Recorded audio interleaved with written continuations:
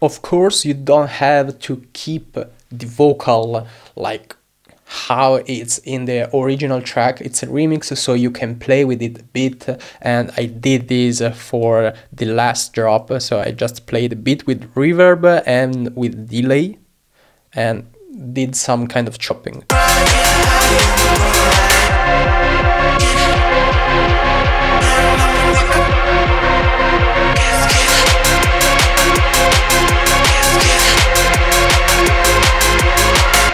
so simple as that. It adds uh, like a vibe to the track and it can be just like uh, a small section. It can be the whole track. It can be 50-50 you, you decide. And it's nice to kind of play with the vocals and make and reinvent the vocals according to the genre.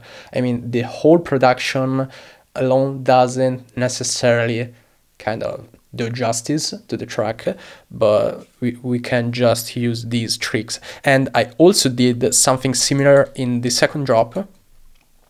So i just added some more delay which aren't there in the original track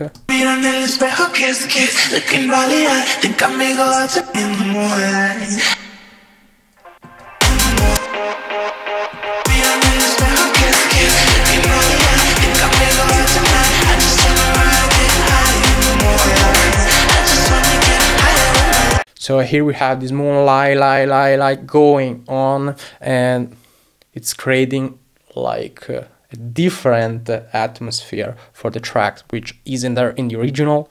It's not much, but it's that little eye candy that can serve the genre and the remix and the whole thing, okay, uh, nicely.